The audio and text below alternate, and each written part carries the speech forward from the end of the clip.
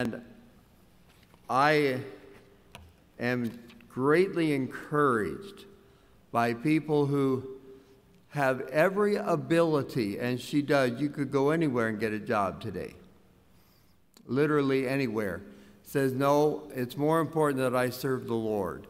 And we're going to ask Cynthia to come and talk to us about what she's going to do.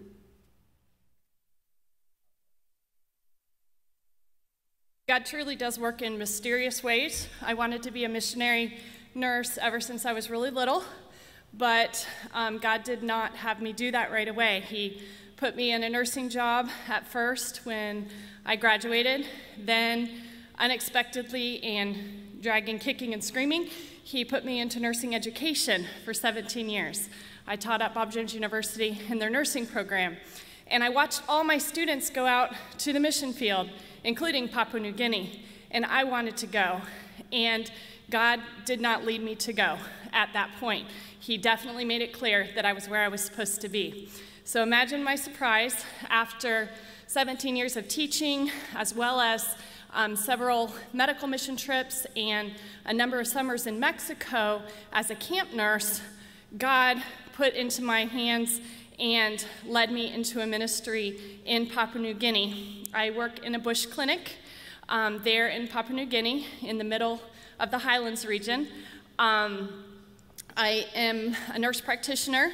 Part of the things that, the preparation that I was able to make while I was teaching was to get both my nurse practitioner degree and also a degree in biblical counseling and then some advanced education um, in education. And so God took me through all of that, not really knowing where that was headed. Um, but God put me into a bush clinic there in Papua New Guinea. I love using nursing um, on the mission field. Um, we have people come in with all kinds of physical problems. We have people come in that have life threatening problems. And as you take care of them, as you are spending two hours sewing someone up, you are impressing upon their mind and heart that God had mercy on them. He preserved their life. He could have killed them at that particular time. Their life could have been over, but it isn't. And then you um, tell them the gospel again, and you tell them how much God loves them. You have ladies who come in who have been beat up by their husbands. You can tell them how much God loves them, how much He cares about them, the mercy He's had on them, and you have a chance to give them the gospel because you're showing them Christ like love. Um, we have ladies who, um, a lady recently who lost a baby at six weeks old. Uh, since then, she started attending one of our church plants, has made a profession of faith, and by last report is growing. Had another lady who, a year ago, almost to this date, um, on September 20th, I delivered her second uh, baby girl. Um, but in between there, her first baby girl, who I'd also taken care of since she was really little, died at nine months old, a, a year before that. In the interim between her first baby dying and the second one, she also had been attending church sporadically, made a profession of faith, has continued faithful in the church, and then God gave them a second baby girl. But all in that time period, you can see God's goodness, God's mercy, God's grace um, during that uh, time period. Um, uh, physical problems in the States, you have to be very careful. You can't go right into the gospel in the hospital setting. You have to wait for people to ask you questions. There, I can go right into it and give them the gospel as a result of their physical problem. Older people come in, they're close to death. They talk about how their body is failing, and you tell them, you know, I can't, I can't tell you how long you're going to live. You might die tomorrow. I might die tomorrow. But you need to be ready to meet God. And let me tell you the gospel. Let me tell you what God has done to give you eternal life. Um, I work in the context of two church plants. We have a team there, uh, two couples, four single ladies, and um, my burden is for the women and children. Um, my burden is my the women's side of church planning. We need strong families. We need strong women. We need godly women, godly teenagers, godly young adults. My burden is to work one on one, both in counseling discipleship, evangelism, mentoring, because these ladies don't know how to sit beside somebody and go through a Bible study. They don't know how to keep up a mentoring relationship. And that will be important for strong women and strong teenagers and people growing up in the church to be able to be a part of the national leadership in an indigenous church there. So my burden is to be able to work, especially one on one with the ladies.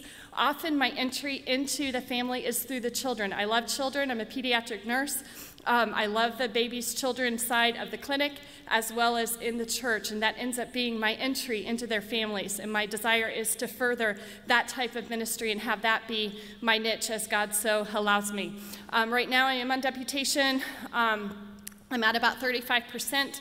My desire is to go back to the field by May of next year, if God would so allow that. That would be exceeding abundantly above all I can ask or think, but He can do what He wants in spite of a pandemic and everything else that's going on. So thanks for praying for me. I do have a table out there, and I do have prayer cards if you want to take one or if you have any further questions. Thank you so much.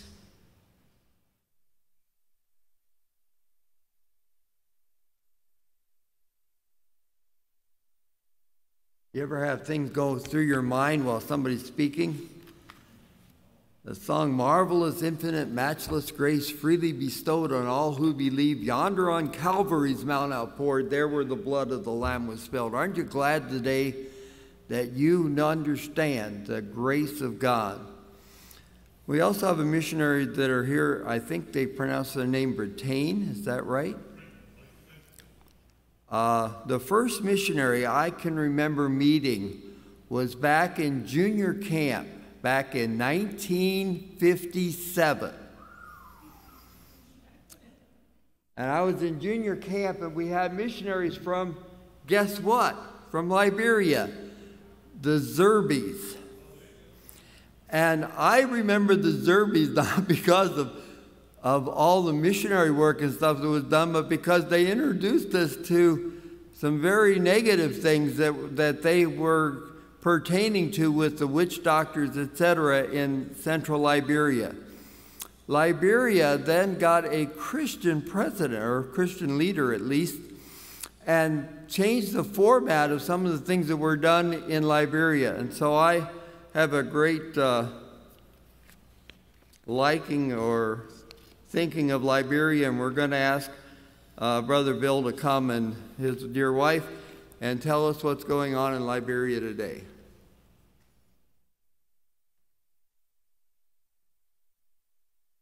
Thanks for that warm up. Yeah, Liberia, how Kathy and I have been involved with Liberia is in the early 1990s two missionaries from Baptist Mid Missions contacted us, Rachel Sildroth and Beth Jones, who were living in Staten Island, working with refugees who had left a lot of, as a matter of fact, more people per capita uh, have left Liberia than any other country in the world because of a 15 year civil war. So all these refugees left, and including the missionaries had to because their lives were on the line. A few missionaries who stayed actually were killed during the war. And so these missionaries followed the refugees and then they started contacting the Baptist Children's Home. Some of you know I was the president of the Baptist Children's Home and worked there for 20 years. And so in, in the early 90s, we started caring for refugee kids. And then we were asked by ABWE to go into the country to care for orphan and needy kids, working with the AFBM, the African Fundamental Baptist Mission, whose great grandparents and grandparents came to Christ through Baptist Mid Missions. So we hold Baptist Mid Missions in very highly esteemed. But ABWE came in and started doing a bunch of works along with AFBM that have been very effective in reaching people for Christ. Liberia right now is the fourth poorest country in the world. And because of this 15 year civil war, we would just say they were set back 100 years and the entire country has PTSD. That's the only way to describe it. And so the needs there are tremendous. So when I contacted, I contacted ABWE because some of their more recent works that they had done with AFBM were being very effective. But I said, I can't live in Liberia, and one of the reasons is, and it's just true, Kathy it's can't, hand, Kathy it's can't handle the heat. I mean, because it is 85 to 90 degrees, 80 and 90 percent humidity. I can handle the heat a little better. But we said, and we just had three grandchildren, so we're like, it doesn't make sense for us to feel like we need, that we should live in Liberia. And actually, ABWE and our home church confirmed this with their philosophy, and their philosophy is to train nationals to reach nationals, which is the big movement in. So we were just telling ABWE, this works for us, but they actually said, no, this is what this is what we're doing. So they were very excited. Now, for the last six months, we've been missionaries with ABWE. Go ahead, and tell a little bit about Liberia. I didn't tell all about it. Okay, I didn't know when he what he was going to turn over to me to say or not. But when you said that about missionary, and I can't remember his name, but Mr. Zerby, and I've you know read some about him and the Labins and the Gunters, and all the work that they've done there. We've been in one of those terrible, terrible villages that is most known throughout the whole country for their evil black magic. And even when we have told other believers that we have gone to this particular village, they gasp and are surprised that we've been there. But you know what? Because of the because of the Lord working in the lives of the AFBM and the leadership, they have been able to plant a Bible believing Baptist church right there in that town. And praise the Lord, you know, I've got a picture of Bill standing next to Pastor Denny. And so the gospel is reaching all these different parts of the country. And it's just so exciting, but they need help. Like Bill said, it's the poorest country in the world. They have Fourth gone poorest fourth poorest. They've gone through so much. And but the the Liberian people are so loving and friendly, but they need our help. And so we we know many people in the US here, many pastors, individuals who have a heart for missions, but they just don't know of the needs and, and how they can help over there. And so we'll be bringing teams over, we'll be working on different projects to help them, revitalizing some of the things that Baptist Mid had done before the war that we want to help to restart that had to stop because of the war. So we, we're just very excited. We were there in February praise the Lord, before all this happened. And we're hoping to go back around November 23rd for a few weeks. If all of the travel opens up, we have a medical team scheduled to go at the beginning of March that we will be going with. So And, and is so right with medical missions. You have to Mm-hmm. understand some of these countries, we talk about health care as being a problem in our country. Some of these countries almost have no health care. So people are dying of diseases that you don't, you'd have Teladoc would take care of you. They don't have any doc. And so the outreaches that they're doing through some of these medical clinics are saving people's lives. And uh, Cynthia, you're just so right. When you save someone's lives phys- physically, they're open to hearing about what you have to say spiritually. And they're actually 15% of the population in Liberia is Muslim. And some of these clinics are really having a big impact on the Muslims because they realize these Christians, no matter what anybody says about them, they love us. And once they get that message, that's very strong. And just to give you an idea, uh, other, a lot of things we're going to help with Liberia with. One of them is a camp, and we hope to restart this camp. It has been closed for a long time. Uh, but thankfully, when it was built, the buildings were built out of cement, but they need all new roofs, all new. Um, uh, bunk beds, all new doors, a new dining hall, and a lot of work. Probably, I'm guessing about $100,000 probably would get this camp up and going. And it had 100 campers every week when it was operating. Why is it important? 40% of the people in Liberia are age 15 and under. Think about that. And only 5% of the people in Liberia are 60 and older because so many died in the war. They don't even know how many. And then, of course, Liberia went through Ebola, which the Ebola was the opposite of COVID. COVID kills less than 10%. And uh, over 90% survive. Ebola was the opposite. It killed 90%, and only 10% survived.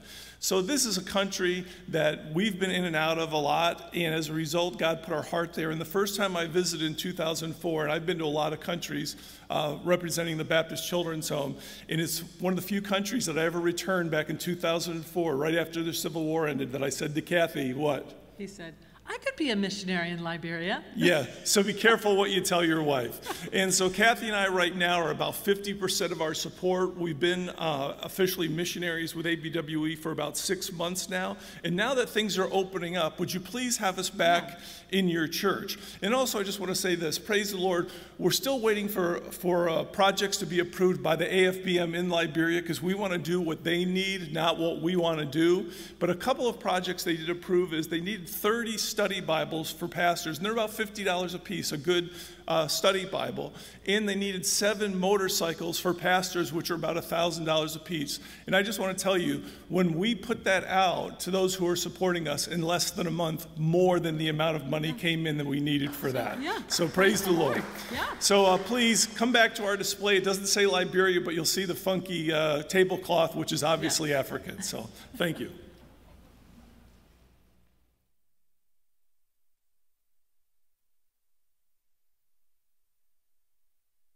Thank you, Bill. What a, what a privilege. Boy, as I, I think through life and I look, look at missions over the years, some of you young people don't understand what's happened, but ABWE, I want, I want to tell you a little story, then we'll have our speaker come. ABWE was in the Philippines at uh, when World War II hit. And part of the program that Bill was talking about came out of their experience in the Philippines because ABWE had to remove all their missionaries from the Philippines and they were scared to death what would happen to all the churches that they had started. Lo and behold, at the end of the war, and they were allowed back in, they went to visit some of these churches and they found out that they were doing better with their local people, ministering to them, than they did with the missionaries. And ABWE started a program in the Philippines to just train their people to work there in the field. And I am a great believer in that. I really am. And part of that spills over into the United States. I hate to say this, but we're a mission field today. We really are. And it's men like our national rep who allow us to continue to build programs in the United States to allow churches to grow and we can become a filter for missionaries all around the world only if we increase what we're doing in America. And, brother, I am so thrilled that you're in the leadership position at the Home Office, and I am. My father knew the, the originators of the GARBC way back in the 30s. And I want to tell you something. I am GARBC to the core, not because I think that everyone in the GARBC is where I am, but because together we can make a difference in the world, and together we can plant churches here that not only can reach America, but can reach the world for Jesus Christ. Brother, you come and just present the word to us this morning. Hey, thank you so much.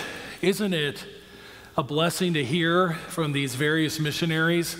Appreciate uh, your ministry uh, and excited to see what uh, the Lord is doing through medical missions and uh, also to the Britons. Boy, it's good to connect with you again. Your, uh, your joy and your love for the Lord and your passion for the gospel so contagious.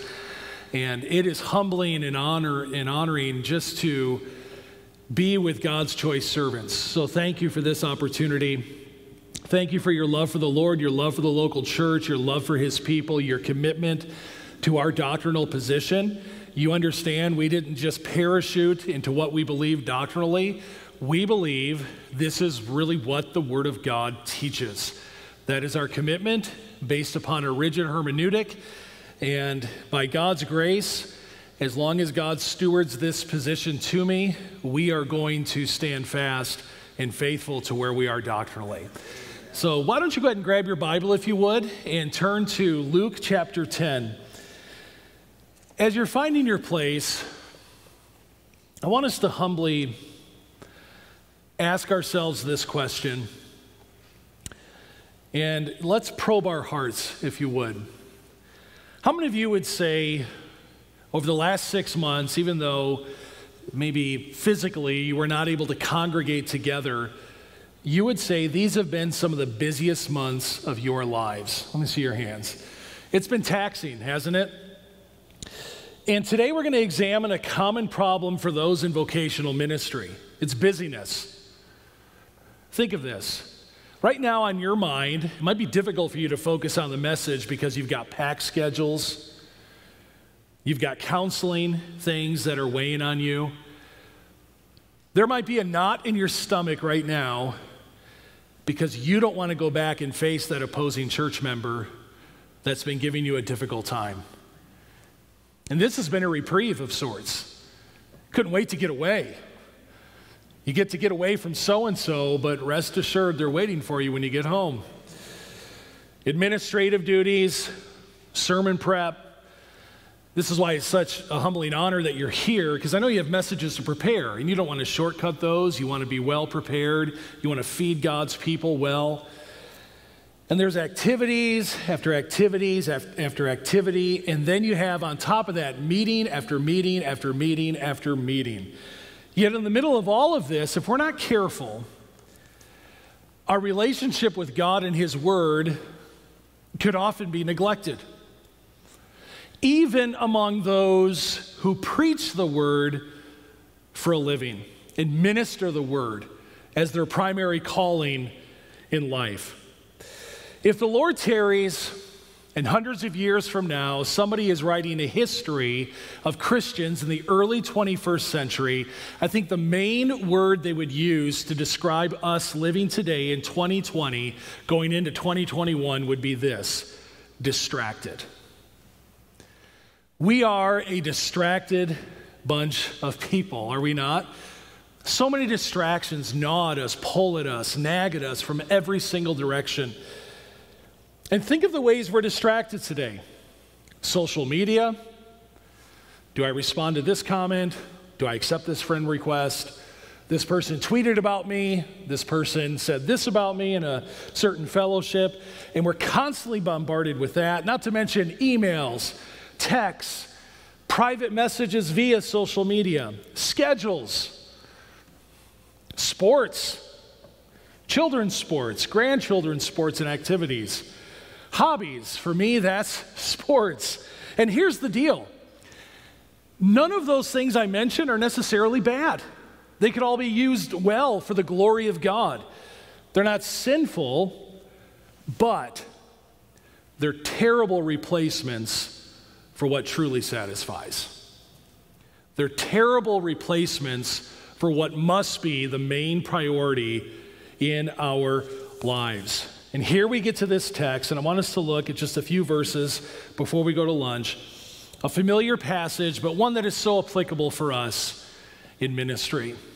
And let's anchor our hearts deeply in the text today and examine our hearts as to what really is our priority in life. Let's pick it up in verse 38. Let's stand together out of reverence for the word, if we would. We'll read the passage, we'll ask God's blessing, then we'll dive into the text. Verse 38 of Luke chapter 10. Now, as they went on their way, Jesus entered a village, and a woman named Martha welcomed him into her house. And she had a sister called Mary, who sat at the Lord's feet and listened to his teaching. But Martha was distracted with much serving. And she went up to him and said, Lord, do you not care that my sister has left me to serve alone? Tell her then to help me. But the Lord answered her, Martha, Martha, you are anxious and troubled about many things, but one thing is necessary. Mary has chosen the good portion, which will not be taken away from her. Would you pray with me, please? Father, we commit our time to you. We ask that our hearts, our minds would be held captive by your word right now, that you would help us to examine our hearts, to ask some hard questions we're not comfortable asking, that we'd be quick to confess, eager to repent, and fully embrace that you are a good and a kind and a compassionate and a forgiving God. And there's no better thing in our lives than to spend time with you. So may you be honored, may you be magnified and glorified with this message, we ask in Jesus' name. And all God's people said together, you can go ahead and be seated if you would, please. We look at the two main characters here outside of Jesus in the text Mary and Martha. Martha and Mary are two of the most prominent women in the New Testament. And you find with Martha, she's always serving. She gets a lot of bad press, but let's be frank here, we need a lot more Marthas in local churches. We find Mary, who's always sitting at the feet of Jesus, either washing his feet or learning from him. And ideally, the church will be filled with both listeners and learners, listeners and doers, those who sit and those who do the work. But most of us are a bit unbalanced in these areas, are we not? We don't quite strike the right, perfect balance. So let me ask you this If you knew Jesus was coming to your home this afternoon, how would you respond to that? How would you respond if the Son of God, God incarnate, were to come into your home this afternoon? Would you immediately grab the vacuum and dust rag? Well, maybe you lean more towards Mary. Would you prepare a notepad and list every single question you would ever want to ask the Son of God? Well, maybe you lean a little bit more towards Martha. For Christmas, Mary would want three brand new systematic theologies under the Christmas tree. Martha would want a gift card to Menards so she could remodel the house. Okay, let me ask you this today. How many of you would see yourself as Mary? All right, nobody. And how many of you see yourself as Martha? All right, most of you do. Thank you for not totally ruining my illustration. It reminds me of this. Uh, last year, Christina and I, we were doing the state meetings in the state of Colorado. We were in Colorado Springs, and we did a tour of the Navigators Ministry there, that, that castle that they own. And I'll never forget the uh, sign on the wall that just struck with me, or stuck with me, and it said this When your output exceeds your intake, your upkeep becomes your downfall. And I think that's true for all of us in full time vocational ministry. And the big idea of today's message is simply this preoccupy yourself with worship instead of worry. Simply that. Preoccupy yourself with worship instead of worry. In other words, it's not that you shouldn't serve, you should. But that time with Jesus must be our number one priority. So today, you might be working really hard, and I have no doubt that you are. Most pastors and wives that I talk to are exhausted right now, they're just worn out. And, and there's no doubt that you're serving and you're busy doing activities for Him, but it might be, and I hope I'm wrong on this, but it might be the case, you're not spending much time with Him personally. I hit on this a little bit last night. You may not personally be close to His Word. If you seek to be used by God, but you don't spend much time with God or in His Word, this passage will show you what can happen to you. And it's not a path to be on. So if we seek to spend time with God, then we seek to be used by God. But if you seek to be used by God without spending time with God, substantial amounts of time with Him every single day, you're headed down a disastrous road in ministry. So learn from someone who did the same thing. So, how do we go from worry to worship? Let's understand a few things about preoccupied hearts. And maybe that's where you are today. You might be so preoccupied today, it's difficult to listen to a sermon. It's difficult to stay focused as you read the word. It's difficult when you spend time with your spouse to be honed in and focused on serving your spouse. It might be difficult today to do much of anything without being bombarded in your mind with all the things going on in the world and all the pressures of life. Let's look at the dangers of that together in the next few moments. First thought is this preoccupied hearts can be overcome by godly activities. That's interesting to think about. Preoccupied hearts can be overcome by godly activities. Look at verse 38 again, if you would. Now, as they went on their way, Jesus entered a village, and a woman named Martha welcomed him into her house. The bigger picture of Luke chapter 10 is that Luke 10 is a very busy chapter. There's a lot going on. Luke, writing to his original audience, who would have been a man by the name of Theophilus. We don't know a lot about him, but I think a lot of times we call Luke uh, Dr. Luke. He was a physician, but more importantly, Luke was a detailed historian. You find that in 24 chapters in the book of Luke, and you find it also in the book of Acts. He was a very detailed historian about the early church. Here we find this small little nugget of a passage right sandwiched in there in the midst of a busy text of Scripture. The disciples are sent out. They've been traveling extensively, undoubtedly exhausted. And according to John 11, Bethany was a village that they lived in, which would have been about two miles from Jerusalem. By the time they get to Mary and Martha's home, they would undoubtedly have been just beat exhausted. How many of you have ever been there in ministry? Where it's like, I am just tired. I need a timeout. I need to stop. And Mary, do, or Martha rather, does something here that's very commendable. She welcomes them into her home. Jesus, plus 12 disciples, and possibly others that could have been visitors. Now, how many of you right now would immediately be prepared to welcome that kind of entourage into your home? I mean, I'd want like a month's notice.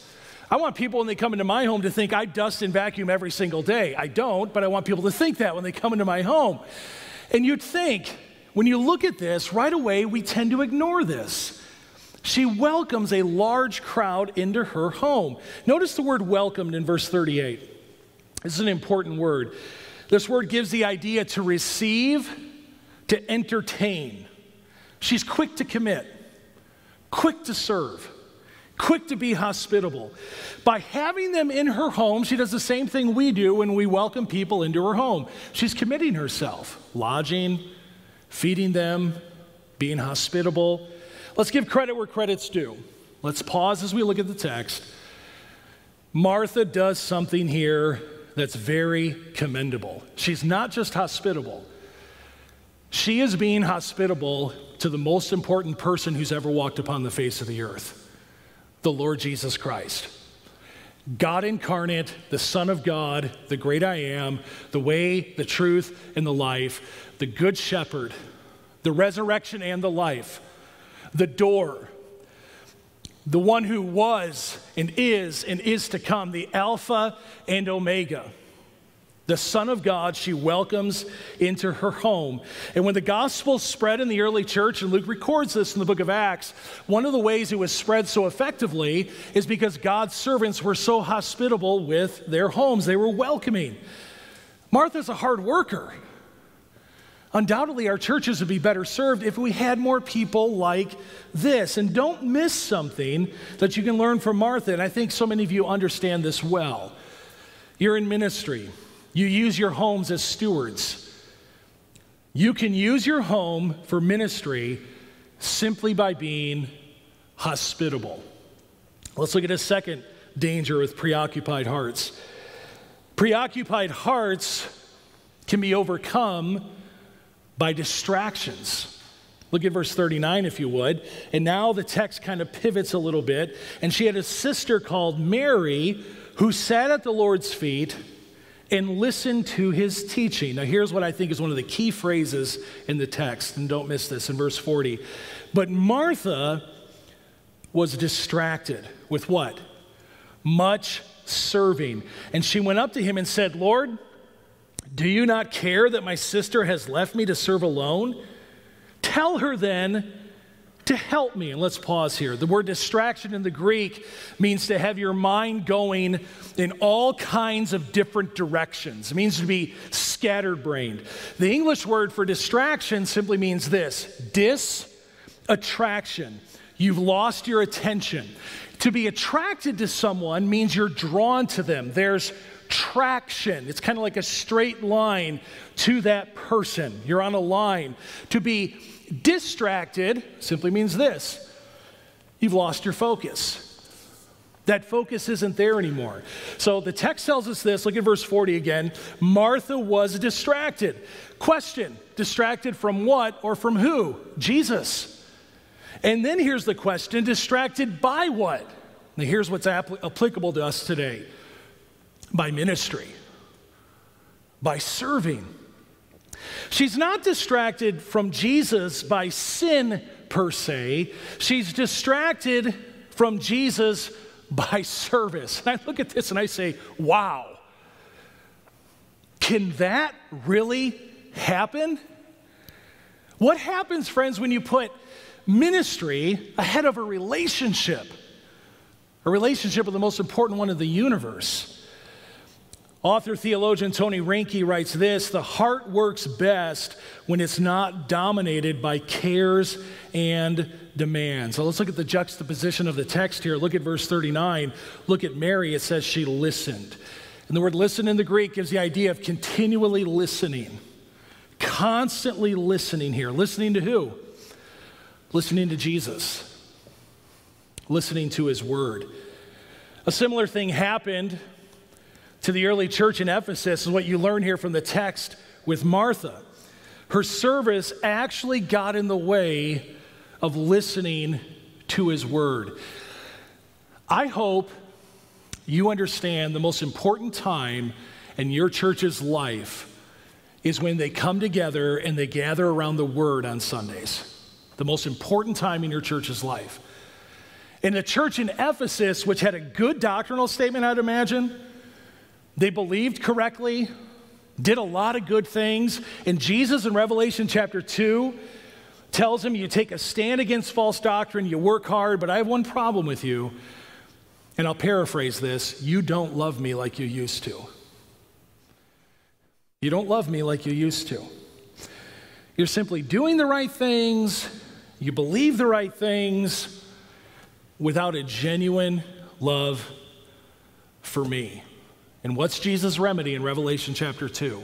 He doesn't tell them to try harder and do better. He doesn't tell them they need new programs. He uses that important word there. He says, repent. You need to repent.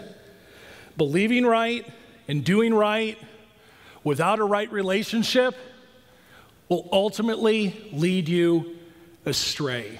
And I think this is really the foundation of so many ministry disasters today.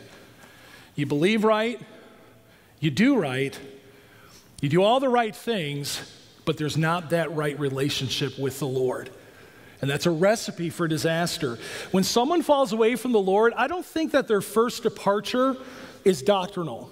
I've, I've talked to a lot of pastors who've made foolish decisions, and, and not one of them comes to me and says, You know, Mike, it's just because I stopped believing in the inerrancy of Scripture. Th- that's not typically what I hear. I believe it starts with a lack of love for the Lord and worship of the Lord. Churches, I'll take it a step further here, and associations lose their effectiveness by losing their heart. Somebody put it this way this is helpful. The first thing to go will be your heart, and then your service. There's no joy anymore in the service. And then your doctrine. You'll adjust your doctrine to fit the coldness of your life. You ever see this in a marriage? Years ago, there was a passion, there was a desire, couldn't wait to be with her or him. You desired to get married, but as years passed and time went on, the heart's not there anymore. The passion's not there. And now the marriage is nothing more than kind of a working business relationship and partnership. Two people who happen to live together. You know, one of the most common breeding grounds for this sort of thing to happen could be solid local churches with great doctrine believing the right things, doing the right things. It also happens in Bible colleges and seminaries. I, I don't know how many times I've heard from those studying for ministry is that they struggle to read the Bible and spend time with the Lord for the sake of their own soul, for the sake of their own personal relationship with the Lord. Those of you who've been to college and seminary, you know how easily this can happen. You study, you read, you do all of those things, but it's not for the sake that you want to love God and know God more and spend more time with Him. And that's the most fruitful time of your day because you realize without Him you can do nothing. Now let's ask this. Let's pause and just consider the text. Can what happened to Martha happen to us today in 2020? Can that happen to us today? Thank you for two of you that agree with me. At least they're on the same page. But can that happen to us today, friends? Amen? It definitely can. And what happens when we let distractions rule our life? Look at the text. Let's see some things that are happening here. Number one is this you become controlling. Martha starts telling Jesus what he ought to do instead of listening to him in regards to what she needed to do. She actually says, Tell her. Tell her then to help me. Not only that, you become angry. No one's doing what I'm doing.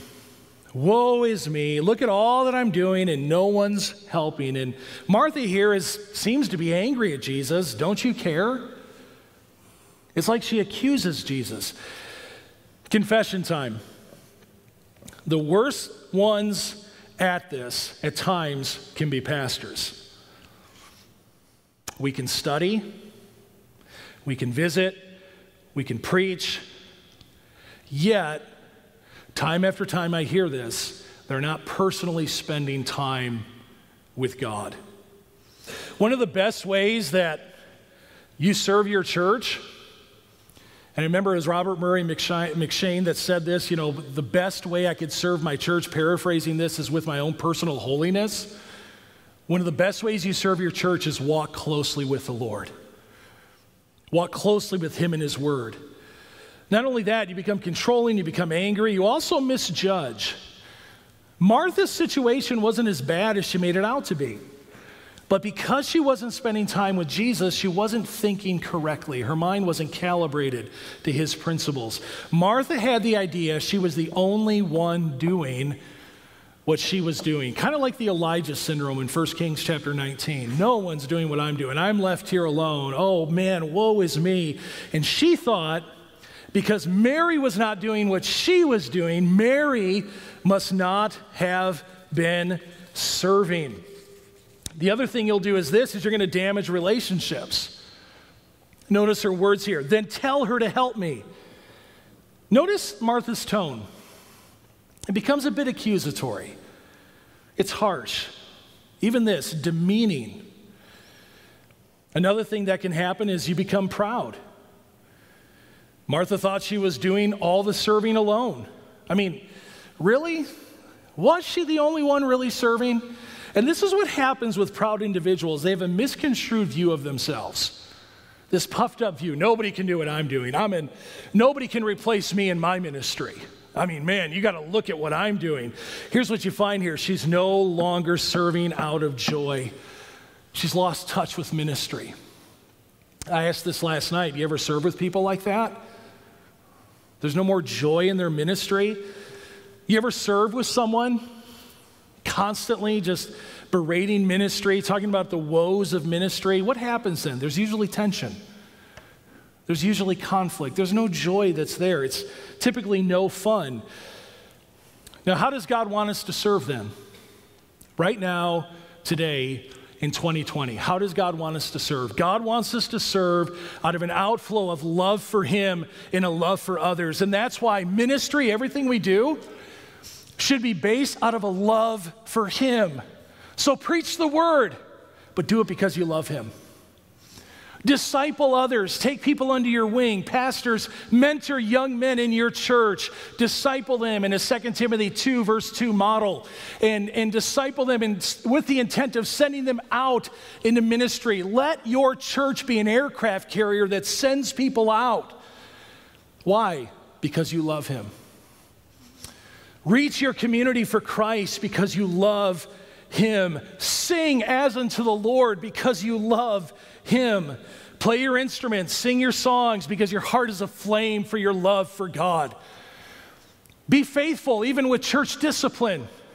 Be faithful in observing the ordinances of baptism and the Lord's table. Why? Because you love Him. Confront others in their sin when, when you don't want to, and it's awkward and it's uncomfortable, and you understand that it might hurt the equity in your relationship with that friend, but do it because you love Him. Consider learning and growing. Consider ed, uh, continuing your education, maybe as a full time Christian servant. Why? Because you love Him. Serve your spouse, serve your wife, your husband, your children your aging parents, perhaps grandparents. Why? Because you love your Lord. You love your master. Raise your children to the best of your God given stewardship, not so we can brag and bring glory to ourselves, but because you sincerely, truly, humbly, honestly love the Lord and you desire to bring glory to Him with your life. Let's recalibrate our motives today. Why do I do what I do? Why am I doing this? And I want us to take a little journey back in time to when we believe God gave us a desire to go into ministry, pastor a church, be a pastor's wife, or where God sent us on this journey. Remember that excitement, that passion, that zeal? Let's pray we never lose that. Let's pray we never lose that fire and that passion to reach souls, to see people grow and change into the image of Christ, the passion you have for the word. Let's recalibrate our hearts today and our motives for the glory of Christ. Let's look at the third and final thing we'll look at in verses 41 and 42.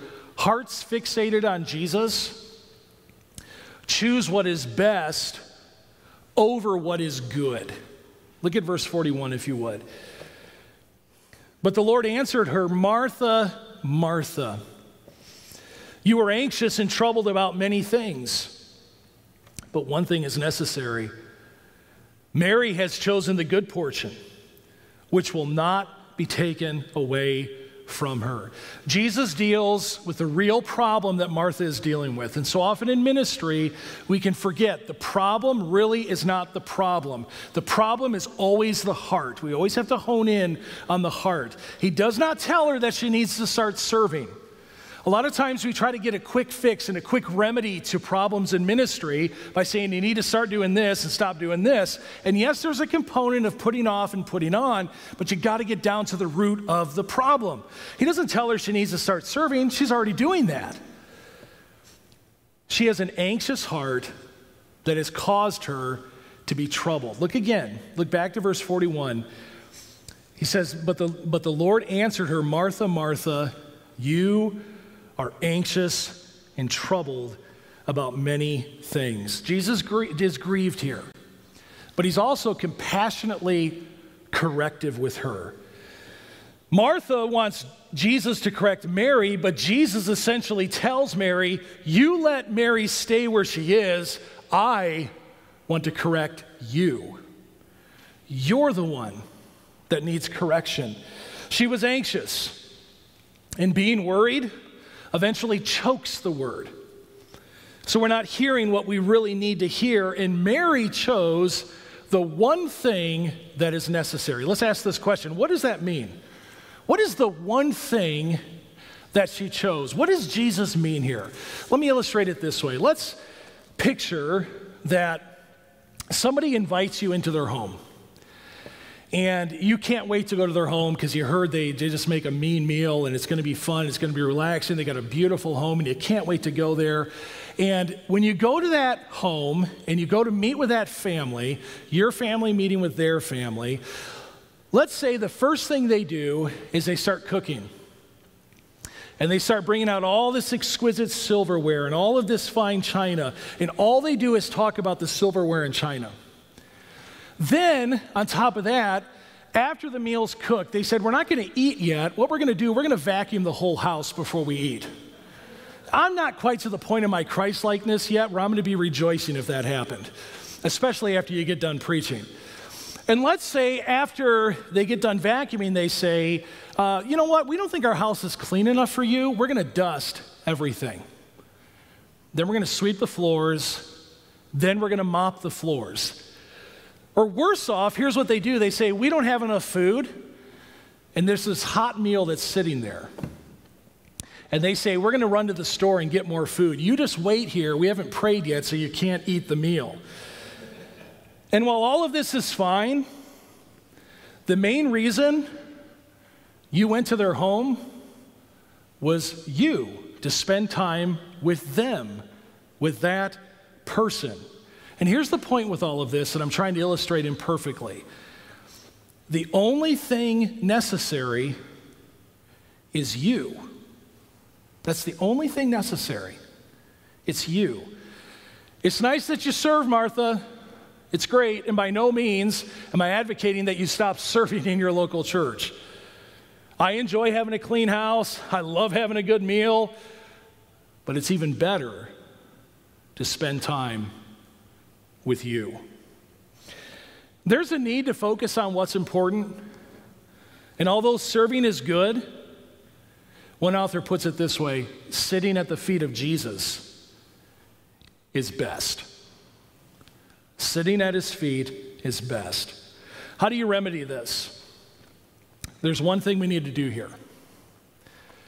And there's a time every day we take a time out. Social media is not preeminent. Text messaging is not preeminent. Our sports teams are not preeminent. Our hobbies are not preeminent. Our schedule's not preeminent. Not even time with our spouse at that very time. It's where you withdraw and you get alone with God and you hear from His Word, and you pray, and we praise Him, and we enjoy His presence that will never leave us and will never forsake us. That's what fuels f- fruitful ministry long term.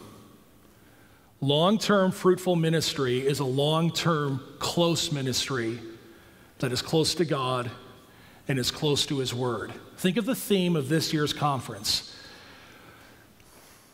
What has been our focus during this whole pandemic? What's been our focus? Is it if we just get out of this, church life is going to be good again? If we just have the right person elected to the White House, everything's going to be good again? If we just have the right Supreme Court, everything's going to be right again for the church. I have to stop and I have to pause and think no matter what context of life God has sovereignly ordained for me, I must be close to Him. I must be close to His Word. This must be the preeminent time, the precious time of my day. Service is great. And I don't think I need to tell you you need to be doing that. In fact, I think all of you are doing that and then some. You are choice servants. I admire you. I'm humbled that I get to preach to you. Tremendous believers, followers of the Savior, you're serving the Lord well. But spending time with the Savior is even better. It's even better. The fervent Christian will not have this sterile and dusty religion that the priest had in the story of the great of the good Samaritan. There's going to be a vibrant, precious, growing, fruitful time with the Lord every single day. And they realize what is needed first is to sit and to listen and enjoy your time with your Savior. Think of your time with God and your walk with God is like a liquid station at a marathon. No human being, I think, is able to run 26.2 miles at a good pace without getting liquids into their body. They have to have water. And they have to have it every so often, every few miles. And if you run 26.2 miles without liquid, you're never going to make it. In fact, that's our activity this afternoon. We're going to try to do that to illustrate this message, right? I just want to make sure you're still with me on this. The same thing is true with your growth in grace. If you run and you run and you run and you run and you run and you never take time to sit at the Savior's feet, here's what happens, and it can happen for those of us in ministry. We become cold, we become irritable, we become indifferent, even calloused, self righteous, even where we look down on others and say, they're not doing what I'm doing. And ultimately, you, you, you lose the joy of serving the Lord.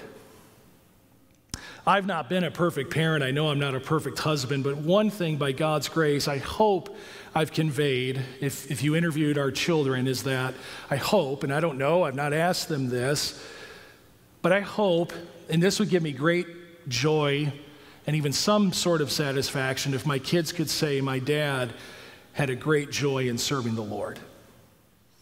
Not perfect. Many times he had to repent, confess his sin, and ask for forgiveness. But boy, he has joy in serving the Lord. I hope that's our testimony today. That we're not growing cold or calloused or indifferent or even self righteous but that we understand I must be close to Him. I must remain close to Him. He is the priority, even over our service.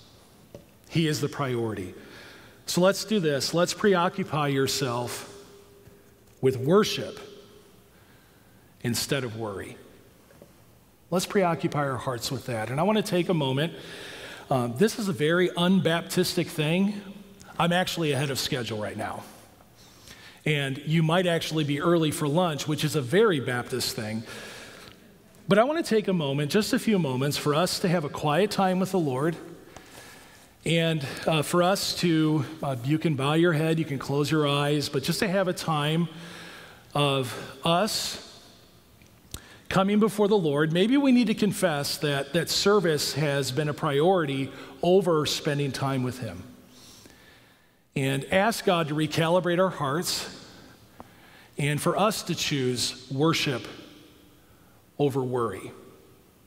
Let's take a few moments to do that right now.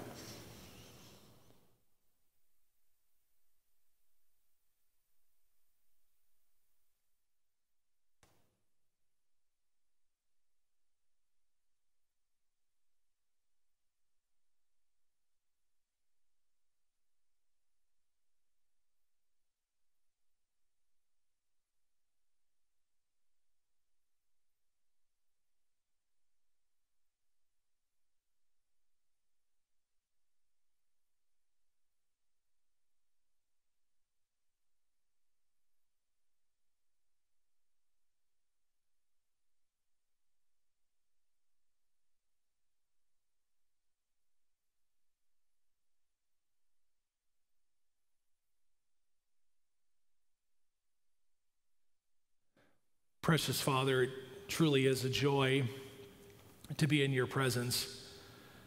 And Father, we pray that, um, that we would not just know about you, but that we would come to know you personally more. Give us, I pray, a hunger, a passion, and a, and a desire to have a personal relationship with you that's growing, that's fruitful, that's marked by increasing godliness and Christlikeness in our lives. And bless your choice servants. There's a lot of things gnawing at them, tugging at them at every direction. Could be volatile church members. It, it could be not recognizing and not always being aware of what the laws are or what's going on or, or understanding a pandemic that's new to us. Father, give us wisdom, but more than anything, give us a closeness to you. May our service be fueled by our relationship with you. And Father, I pray that your word would find residence in our hearts, that we'd have a greater awe and a greater reverence, a more profound worship and fear of you. And we ask this all in Jesus' precious name. And all God's people said together,